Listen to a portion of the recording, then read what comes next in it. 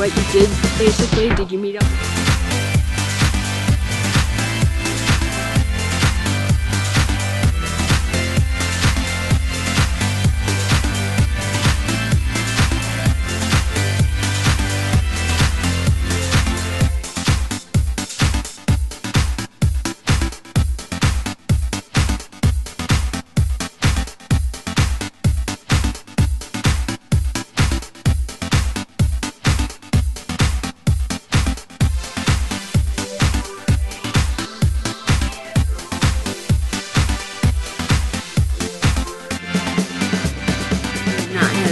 Since the accident year. We can get them out on the water